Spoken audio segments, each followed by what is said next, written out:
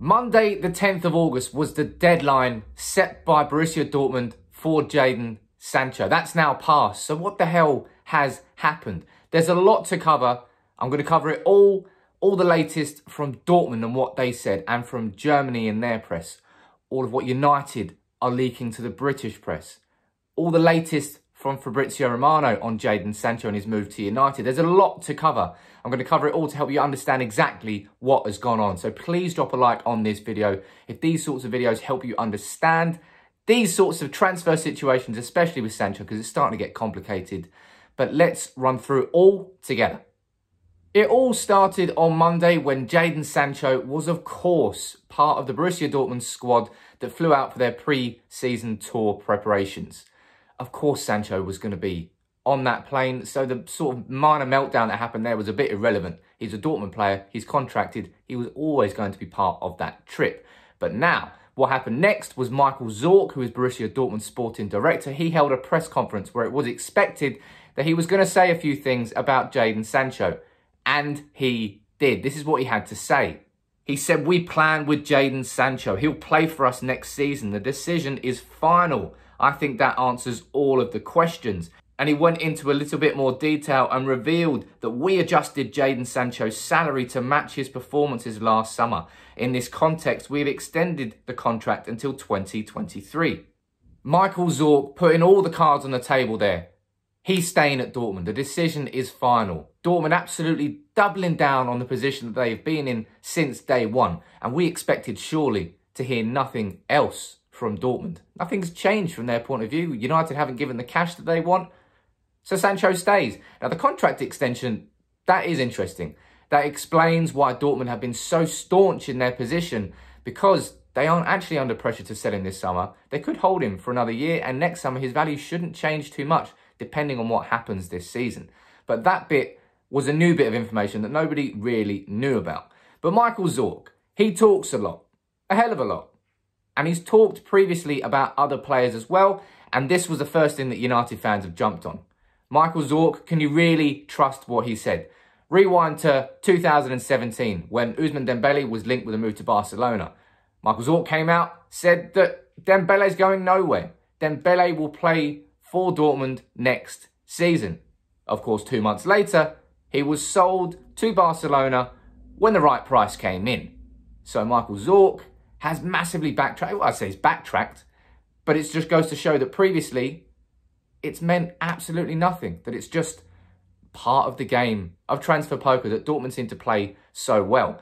Now, interestingly enough, with Michael Zorc, and I think his name is Hans Joachim Watzke, who are both directors and part of Dortmund's board.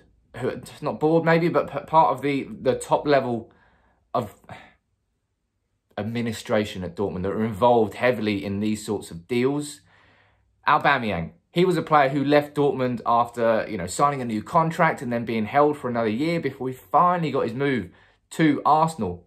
He went public previously to just label Dortmund's negotiators, Dortmund's top level as clowns. And he went public and he wasn't ashamed to go public. So it goes to show that Dortmund's tactics, like this, like, like they're doing with Sancho, can piss the players off that are involved. It pissed Aubameyang off so much that he went public. Could they do the same thing to Jadon Sancho? Now, if they really dig their heels in and basically block a move, yes, it could. Because the fact of the matter is, Dortmund are a selling club. Dortmund will take their staunch position in public that a player will not be sold. They will then sell that player. They will then replace that player with a younger talent, build that player up, and sell him. It is their business model. They can't deny that because the facts are all there on the table for all the players that have left that club and all the players that have come into replacement. They do it very, very well. But they're doing the same thing with Sancho that they did with Aubameyang, with Mkhitaryan, with all these different players before. They aren't for sale eh, unless you give us the right price. That's the same situation with Sancho. So don't just be fooled into thinking that it's all dead in the water. I don't think it's dead in the water. I really don't. But Dortmund are a match for Woodward and Judge in these negotiations. But Sancho, as I said, if they piss Sancho off, could he do something? Well, Daniel Harris, he writes for The Guardian. He's suggesting that he'll put in a transfer request. And I've said this all along. if Jadon Sancho really wants to force this move through and go public with a transfer request, it brings the advantage back to United. I don't really think he'll do that, but that is what he could do if he's pissed off enough, like Aubameyang was.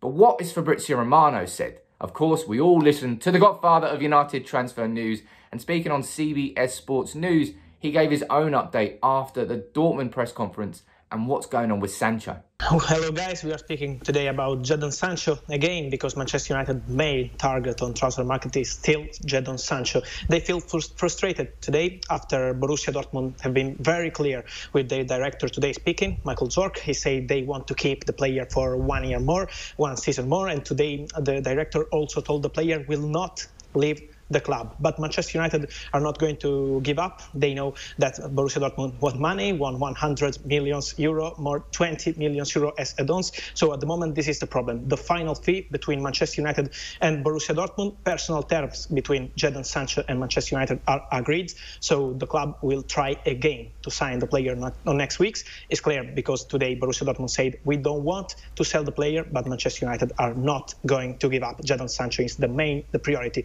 player for next season. So Fabrizio there saying, I suppose what we all knew, United will be going back in for Sancho. Nothing has really changed on that. Dortmund's stance hasn't just, oh look, they're not going to sell him. Let's move on to somebody else. Kingsley Coman, he'll do. United still want Sancho. He's their number one man. And United will go back in for him.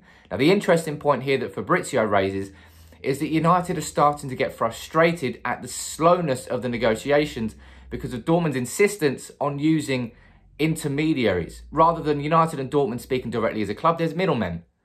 And that is what is annoying United. And what's interesting here about Fabrizio saying that is because the brief came out from United. As I said, the brief always comes. It's so obvious when the brief comes. Maybe they should make it less obvious. But James Ducker, Simon Peach, Simon Stoney, James Robson, all saying the same thing. Like they did a few days ago when they all had the brief from United. It's so obvious when it happens. It really is saying that United are indeed frustrated at the lack of pace in these negotiations. And why can't we just deal with United and Dortmund directly? Why do we need these intermediaries to do this transfer? That kind of understandable, but Dortmund have done it before and they'll do it again. And I do find it absolutely hilarious that the idea of Ed Woodward is pissed off at slow negotiations. Come on, man. Pot kettle black. Woodward is the king of it. And he's only pissed off because he doesn't want to pay the price that Dortmund want. It will be very simple and very quick negotiations if you just pay what Dortmund want. Just get it done if you're that pissed off, but you're not. Millions mean more to you than signing players. Winning a transfer battle by getting a couple of million off is a bigger win for Ed Woodward than actually signing the player. And that's why these negotiation standoffs happen every single damn time with United. And it's happening again with Jadon Sancho. And my opinion on this whole Sancho situation hasn't changed. I said at the start of last week, I'd be very surprised if we sign him by Monday. We didn't. So I'm not surprised about that. But I think United will sign Sancho. I think it will just be dragged out as we all expected it to be, didn't want it to be, but realistically thought it would be. And it's happening again. I hope, I hope to God, that we can sign him before, I think the 12th of September that the Premier League returns. So around about a month from now, football in the Premier League is back. So to have Sancho before that is crucial, really, because we've seen with Bruno Fernandes the impact he's had from January and what could have been if we signed him in the summer. We can't do the same thing with Jadon Sancho, surely. Learn from your mistakes, United. Get the shit done early. It hasn't happened so far, but Dortmund are laying it all on the table. They are doubling down on the stance that they've been at since day one.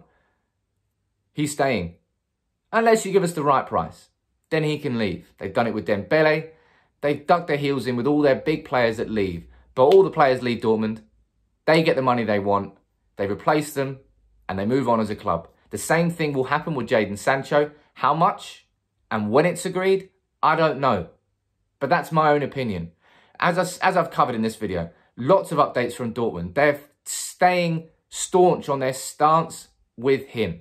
He's staying unless United come in with the right price. United seemingly getting pissed off at the slow negotiations. That's hilarious, but I do understand that. Take the intermediaries out.